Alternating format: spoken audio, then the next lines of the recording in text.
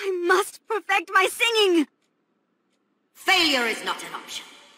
Mother? You will train until you are perfect, Diana! Diana? Uh, Diana, is something wrong?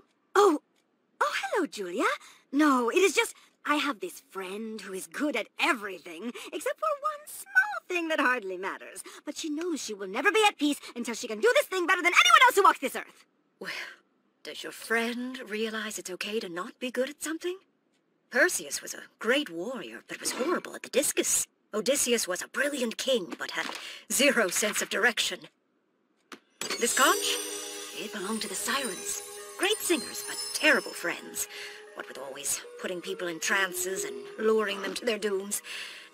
You see, no one's good at everything. Yes, I see. The sirens were great singers, weren't they?